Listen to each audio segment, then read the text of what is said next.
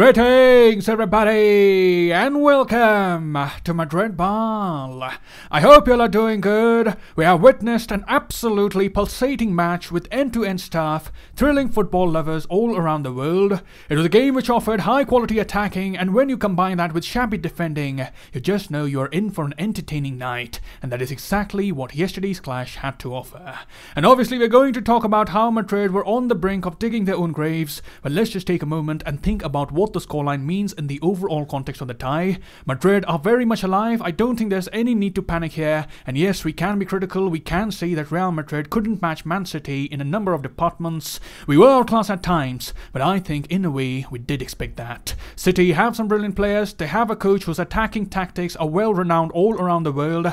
They have a better team structure at the moment, and we always knew it was going to be difficult. So considering what could have happened, I'd say I'm okay with the fact that Real Madrid are just down by a single goal. And don't get me wrong, Real Madrid are a team that needs significant improvement, even if we win the UCL. From a long term perspective, I would still say that to play better football, a few things need to be tweaked. But strictly keeping the tie in mind, we have somehow managed to keep ourselves alive. We are still in contention for a spot in the final, and maybe, just maybe, we'll have another magical night at the Bernabeu, which is very much possible, keeping the current season in mind. So in this video, we'll do the post-match analysis of Man City versus Real Madrid. We'll talk about the significant happenings of the game, and without further ado, let's get started. And having a look at the lineup, there was Courtois in goal. In the back four, we had Alaba, Militao, Carvajal, and Ferland Mendy. In the midfield, we had Kroos, Modric, and Valverde. And finally, in attack, we had Benzema, Vinicius, and Rodrygo. I'll skip the shoutout section today, because none of you had predicted such an emphatic scoreline. But sharing some thoughts on the starting 11, we all were interested to see how the midfield battle was going to work in the absence of Carlos Casemiro. Kroos was the one playing the role of a defensive midfielder with Modric on the left and Valverde on the right. But let's just say we didn't win the midfield battle against City. We were outdone for pace and strength. The intensity of the City players was too much for the Real Madrid midfield, and Toni Kroos wasn't effective at all as a defensive midfielder. He couldn't cover the ground that Casemiro is so effective in doing. Usually we see the Brazilian getting in the centre back positions when one of the defenders is pulled out of the back line, but with Toni Kroos, it just wasn't possible. It simply isn't his trade. It would be wrong to lay all the blame on him. However, I would like to mention that I have been a bit disappointed with how Kroos has played this season. You can partly put it down to the tactics of Ancelotti where Kroos is required to cover more ground than usual, but I just feel that there has been a drop off in his game. He's not quick enough, lacking a bit of agility, and sometimes he loses the duels that he should be winning. So definitely he's going through some changes, and is it a phase or is it simply father time catching up with him? The subsequent games will give a better picture, but surely I'd like a bit more intensity from the German sniper. And talking about the first half in general, Real Madrid were off to the worst possible start. Man City came out with the guns blazing, they were making some slick passes. The energy in the movement almost looked like the players had taken the pitch after drinking a can of Red Bull, and Real Madrid simply couldn't match that. Just look at this instance, the City player was passionately chasing Alaba and Courtois. The effort that they were putting in was commendable, and this forced Courtois into conceding a corner. You can also look at the image here, City were pressing Madrid very high, and Madrid found it very difficult to play from the back. City were not giving Real Madrid any breathing space, and they recovered the ball pretty quickly in the middle of the park. So the home side did find it very easy to attack the Los Blancos. Our defensive structure was downright woeful on the night, and individually as well, all our defenders looked to be off the pace. Alaba apparently wasn't 100% ready, but about Militao, we can say it was a dismal performance from the Brazilian. We have praised him for his impact in the early parts of the season, but in the recent months, we have seen him making some rookie mistakes. Sometimes he takes too much time on the ball, sometimes he fails to anticipate the movement of the opponents and is caught out of position. He has been lacking a sense of conviction lately, and that is why Real Madrid must absolutely bring in more centre backs. I strongly believe in the spirit of positive competition. At the moment, we can see there's no one challenging Alaba or Militao in the squad for the starting centre back spot, and when such a scenario happens, there's a good tendency of players being complacent and they tend to lose a bit of focus. In the face of positive competition, however, players are forced to stay on their toes, fearing that a few mistakes may cost them a spot in the starting 11, and this, I believe, elevates the focus level of the players and the focus of a team overall.